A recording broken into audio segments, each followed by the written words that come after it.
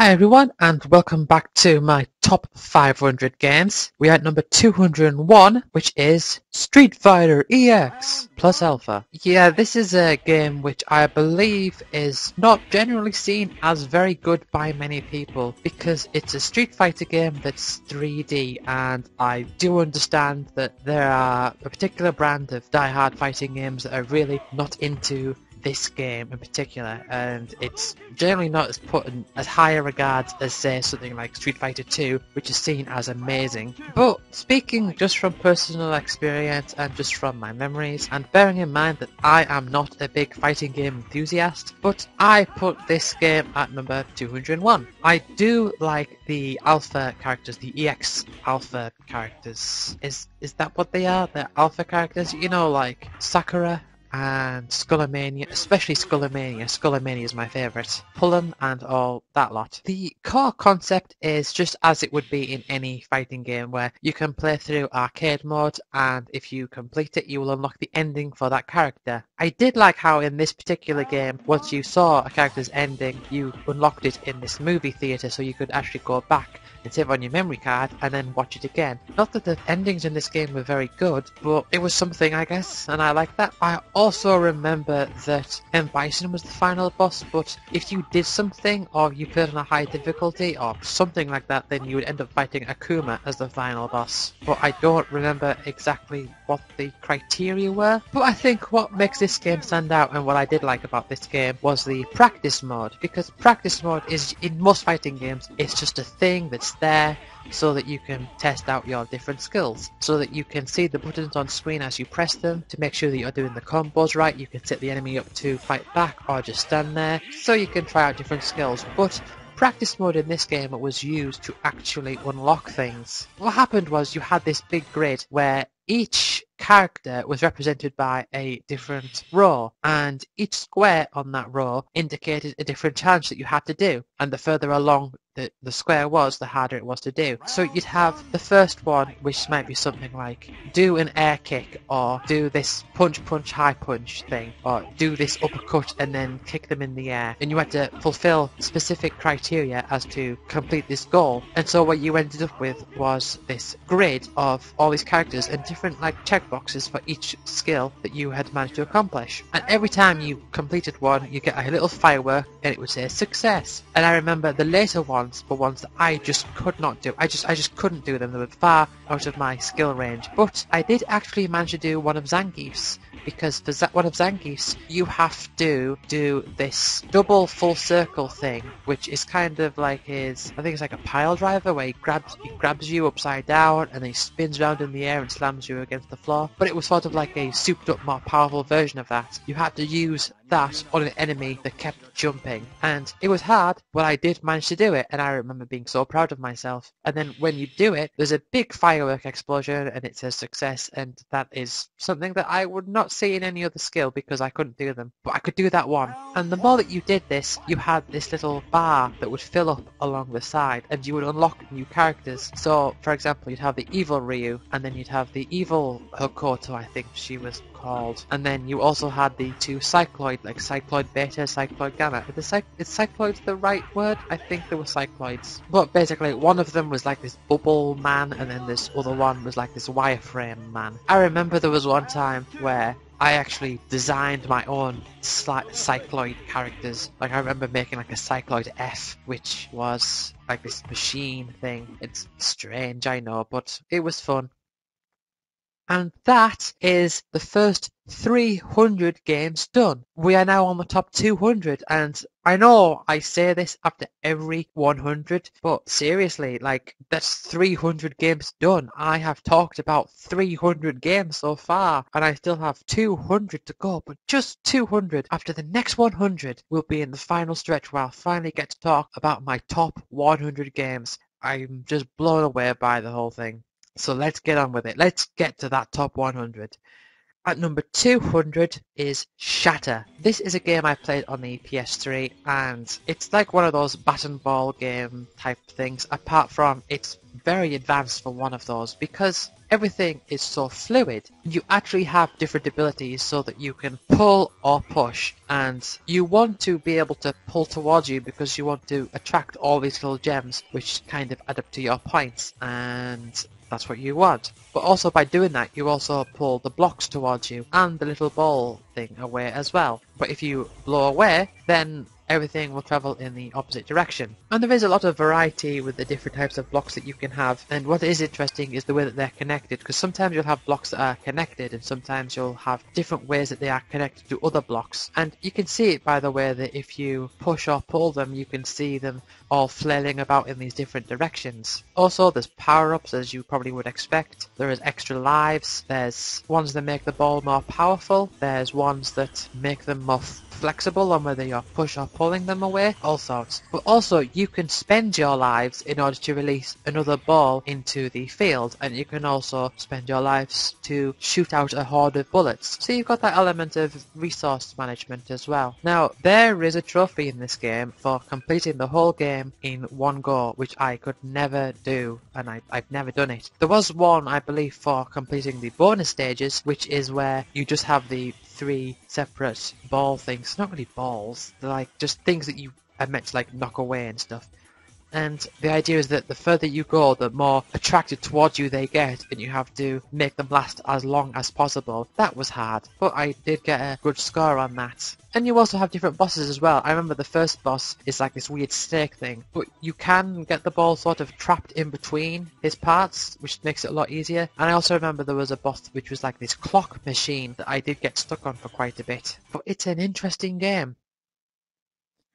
Number one hundred and ninety-nine is Dragon Quest, the original Dragon Quest. I played this in 2009 because I was interested to see what it was like, and I have to say, this game was a big influence on Level Up Land. When I made Level Up Land, there are certain parts of it that I really, really took strong influence from Dragon Quest. Dragon Quest is such a strange game to talk about because in some respects, it's so good, but in other respects, it's pretty dull. It's really, really hard to describe. It's kind of like one of those things of, oh, it was good at the time, but I really don't like those types of arguments because I think, I think it's kind of silly to say that something was good but isn't good anymore. You know, if something's good, it's just good, and I'm not going to really get into the whole argument, but I will say that Dragon Quest was the first JRPG, so to speak.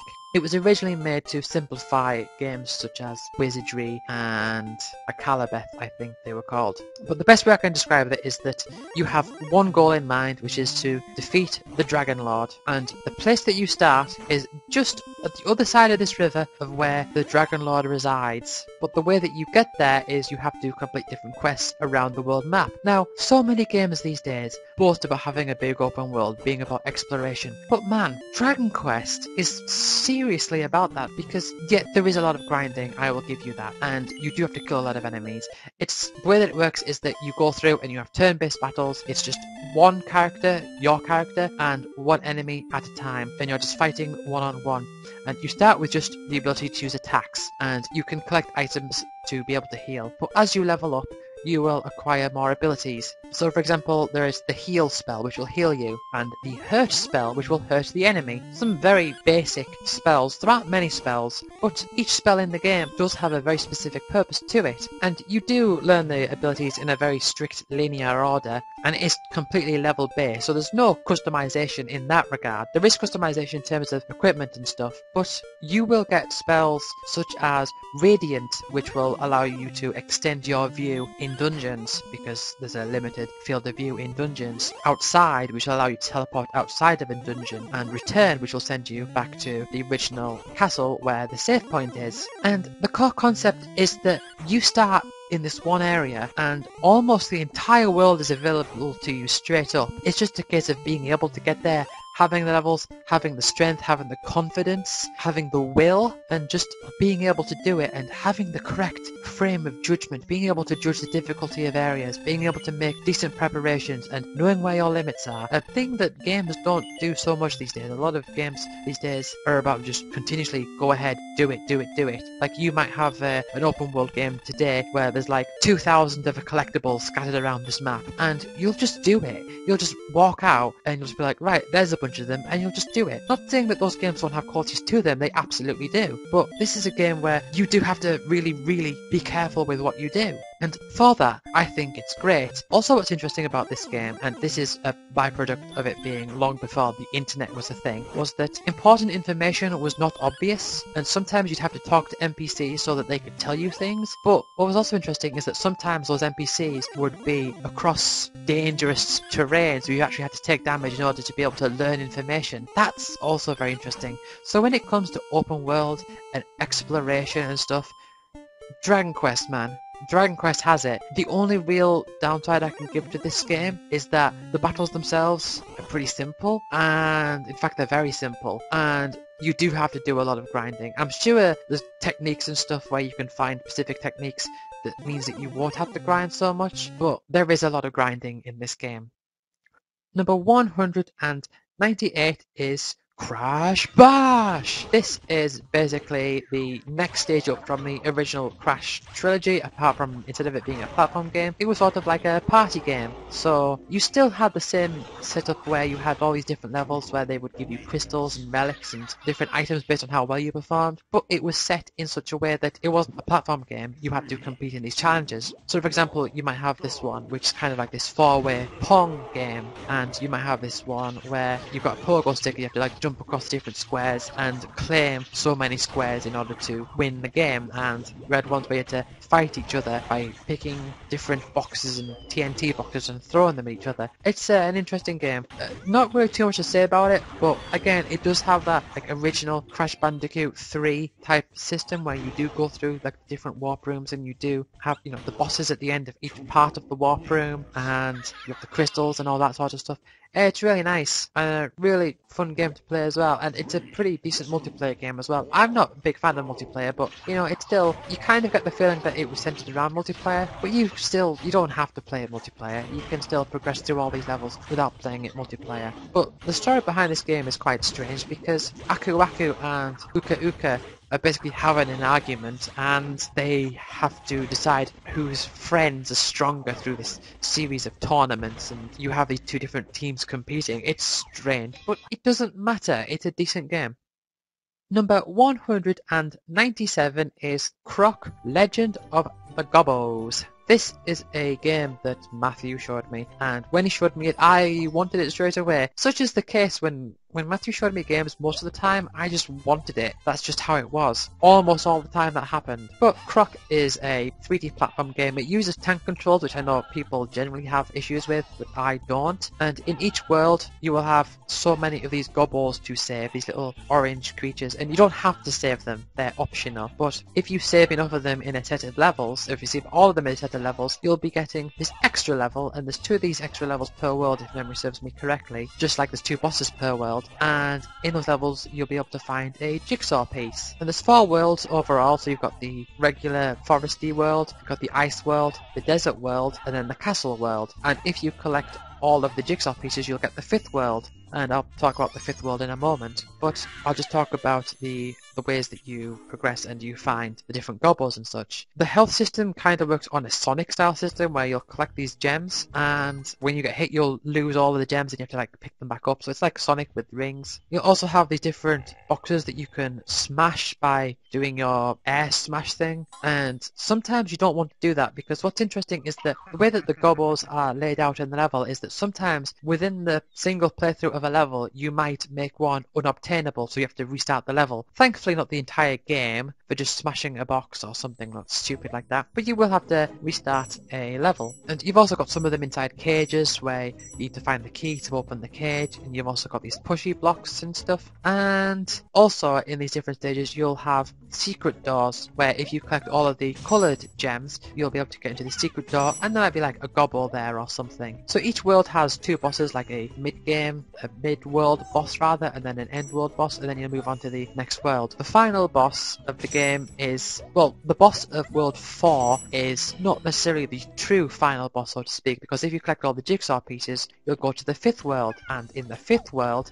what you have there is you have five levels. You have the first four levels, each of which is a rendition of each of the four worlds. So you'll have the grass level on world 5, the ice one, the desert one, the castle one. And then and then you'll get to the final one, which is like this palace. And I remember, I believe I discovered this world before Matthew did. And I think I was quite proud of that because he had the game before me, but I think I discovered this world before he did. I'm not too sure about that, but I think that's what happened. But the final boss in the fifth world is something that caused me so much trouble because I had no idea what to do, and neither did he. Because, and I know it's not normal for me to talk about final bosses, but I think this is such an important story in terms of this game that I just have to talk about it because the final boss in this game is sort of like what I thought was meant to be like a ghost of the main villain, apart from instead of having like this mohawk, he has these spikes. It's like the ghost of Baron Dante, or it's like an alternate form of Baron Dante, I'm not so sure. And